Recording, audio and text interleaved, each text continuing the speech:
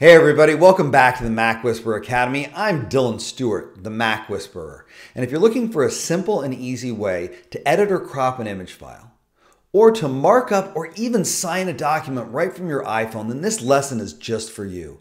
Let's hop on in and get started.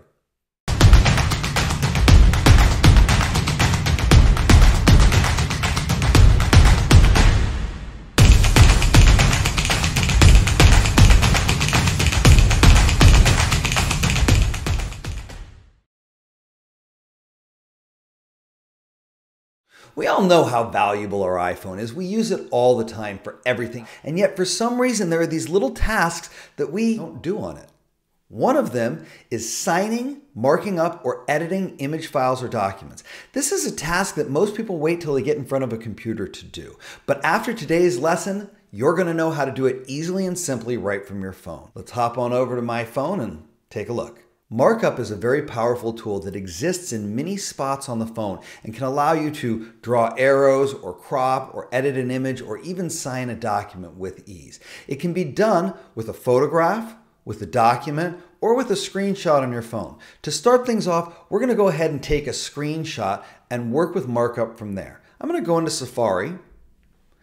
And the first thing we need to know is how to take a screenshot on the iPhone. So if you have a phone without a home button, you're going to tap the left top button and the right button simultaneously. That's the left volume up button and the right power button at the same time, just tapping them.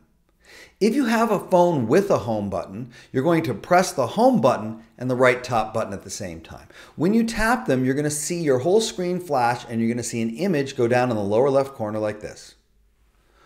When you see that image, if you tap on the image, it brings it up into markup mode, and you're already halfway there. From this screen right here, there's a couple of things I want you to notice. First, you can easily crop this screenshot by taking these bars at the top and moving them up or down, or left or right. You can focus your screenshot on exactly the part of the image that you need to showcase. But if you're in Safari, there's an extra tip I want you to be aware of. If you see up at the top, it says screen versus full page. Sometimes you're taking a screenshot of a web page and you don't just want this much of it, you want the entire web page. And all you have to do is click where it says full page in the upper right hand corner, and you'll notice that now on the far right side, you've got that entire web page available, and you can screenshot the entire thing or just crop a particular section of it. For this example, I'm just going to do the screenshot. The first thing I'm going to do is crop this image a little bit. I don't really need the toolbar at the bottom. I don't really need the time and the other information at the top. So I'm going to pull that little bar down. We're just going to go right to the top of that part there and up here, and it immediately resizes and crops that image. The next thing we're going to do is we're going to pull up our markup tools. The markup tools are hidden under this little pen icon at the top of your screen. So clicking that shows the tools down at the bottom.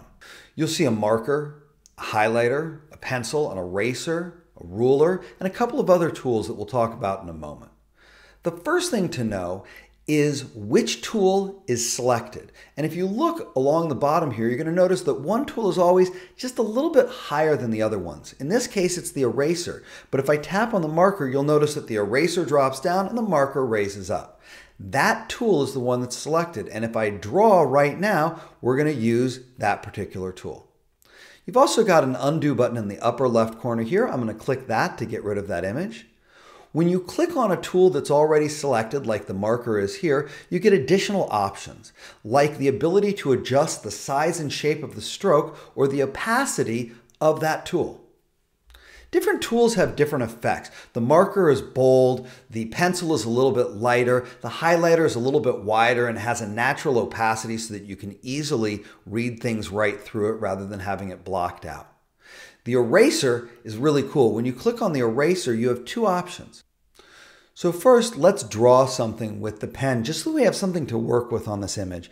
Here's my smiley face. Now, I'm gonna go click on the eraser. When you click on the eraser the second time, it brings up a couple of tools. One of them is called the pixel eraser, and the other one is called the object eraser. And the difference between the tools is that the pixel eraser can eliminate just a part of a drawing, so I can just get part of the face off of there.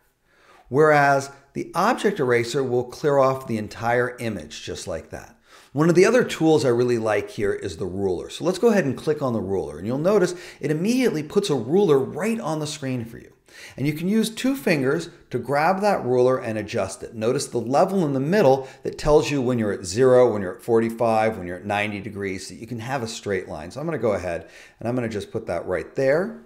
And I'm gonna grab my pen and I'm going to draw along the ruler with my pen, just like that.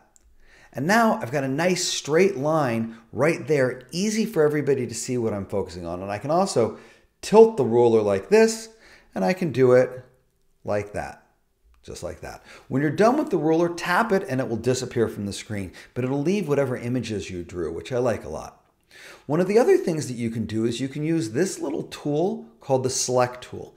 And the select tool will allow you to grab any drawings that you've got on the screen. So I'm going to take my finger and draw a little circle right around here. That allows me to grab that section of the drawing. And now as I move it, you see our little X move around with me. So let's go ahead and click on our marker on the left side here. I'm going to change the color of the marker by clicking on this colored wheel that we see to the right. You can see in the center that it's red. I'm going to click on it. Let's change it to blue. You'll also notice down at the bottom some of the most commonly used colors are there, and you can press the plus button to add a different one. So if I really wanted to use this shade of purple, I could select it and then press the plus button right at the bottom, and that purple will be preset for future markups that I want to do. I'm going to go ahead and click the X. We're currently selected on purple, and now if I draw, you're going to see that it's that purple color. Now, I want to talk to you about the most powerful part of this markup toolbar which is all hidden under this little plus button. Let's go ahead and click it. Inside this plus button, you will find the ability to add a description, to add text to your image or document, which we'll do in a moment, to add a signature, which we'll do in a moment, or to change the magnification or even add specific shapes like an arrow. Arrows can be extremely helpful in a markup document to point the attention of the viewer to what you want them to see. You can adjust it by grabbing the blue ball at the end and pointing it at whatever you want the viewer to be looking at. You can also adjust the bend of the arrow by grabbing the green ball and kind of moving it in case you need to avoid a particular part of the image so that they see exactly what you're looking at. You can also use the plus button to grab a circle and move that circle to wherever you need it to be to really make sure the person is paying attention to what you need them to be looking at. And again, you can also use the colors at the bottom to change the color of that arrow or that circle.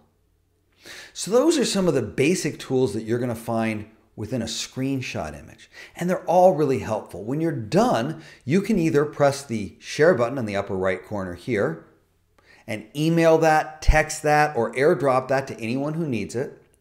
Or you can click the Done button in the upper left corner here, which will give the option to save that into your files or your photos, or to delete it altogether. And now let's move over to another place that you can use markup, your photos. So let's head over to my photos, where I've got a photograph of a room we're doing some redecoration on. Right from the Photos app, I can click the Edit button in the upper right corner, and then I can click the little markup tool that we see right in that right corner. And once I've got it, I can zoom into the image. I can grab my ruler, draw a line right where I need it to be. In this case, I want it to be right there.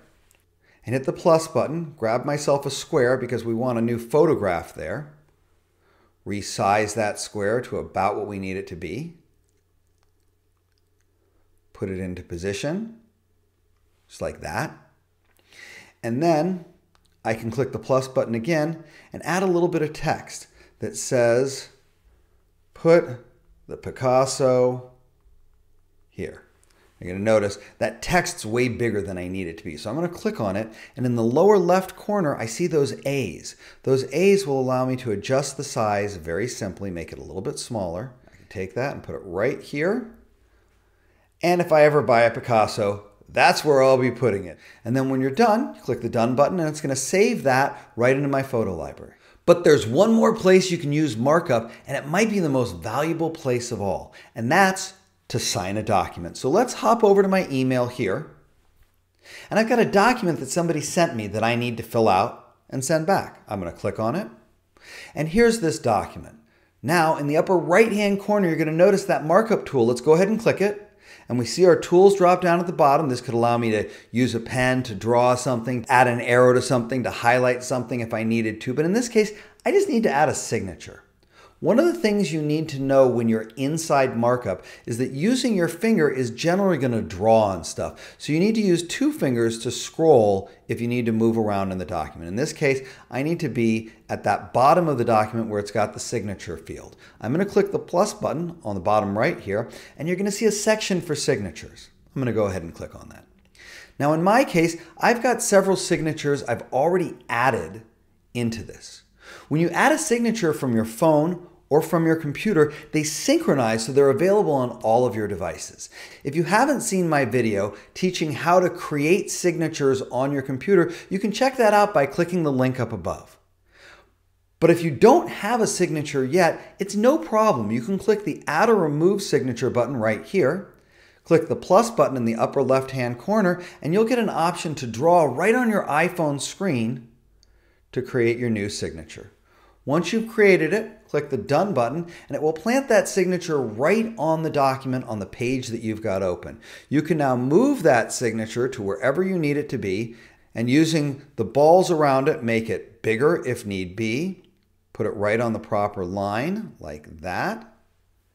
And then if you want to, you can just send that document right back to the person and be complete. If I click done here, it's going to give me an option. And the option will be, do I reply to the email that this was from? Do I send it to somebody in a new message or do I just save this? So right from here, I can say new message and that signed document goes here. I can send it to whoever needs it and I can be done with that form without waiting until I get home. So now you really have no excuse to wait to sign that document or to make those notations or adjust that image right from your phone. So that's what I've got for today's lesson how to use markup from your phone to edit or crop an image, to add text or shapes or even a signature to a document, and do it all right from the palm of your hand. Hope you enjoyed today's lesson, and if you got some great value out of it, hit that like button. If you're not a subscriber to my channel, go ahead and click that subscribe button and hit the little notify bell so that you always get alerted whenever I put out new videos. I'm Dylan Stewart. They call me the Mac Whisperer, and it's my passion and profession to help people get more done in less time and with less effort than they ever thought possible. And with that being said, I'll see you at the next lesson.